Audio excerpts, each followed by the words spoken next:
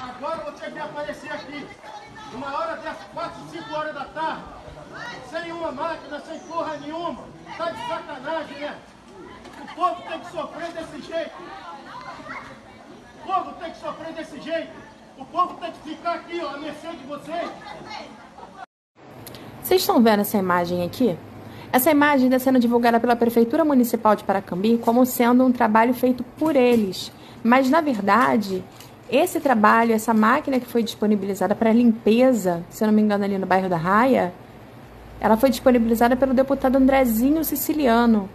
E a Prefeitura de Paracambi tirou uma foto desse trabalho e está divulgando como se fosse ela que estivesse fazendo essa limpeza. Então, gente, vamos parar aí com as fake news a partir do próprio governo, né? O próprio governo já está espalhando mentira. E vamos aí compartilhar, né? Avisar as pessoas que essa máquina em questão aí, quem trouxe para Paracambi aí, quem está fazendo é o Andrezinho Siciliano, tá bom? Ah, não importa quem está fazendo. Não, não.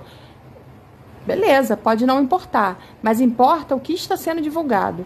Porque aí o governo de Paracambi sai como se tivesse, ó. E na verdade a gente sabe que não é assim, nós estamos jogados.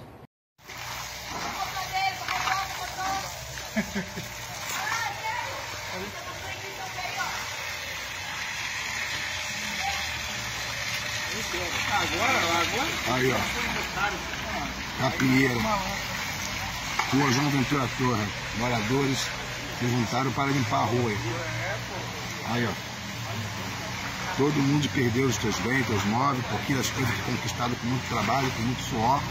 Quero saber da nossa prefeita aí, dos vereadores, que vão fazer, igual fizeram pro carnaval aí, o tal de pregão emergencial, para ajudar essas pessoas, a pelo menos minimizar um pouco a dor dessas pessoas que perderam um pouquinho das coisas que elas tinham. Quero ver agora, vereadores. Logo mais, nova sessão aí, ó. Vai ter o pregão emergencial aí, ó pregão emergencial para ajudar essas famílias que perderam móvel, perderam um pouco das coisas que é conquistado com suor, com trabalho. Pregão emergencial hoje, quero ver.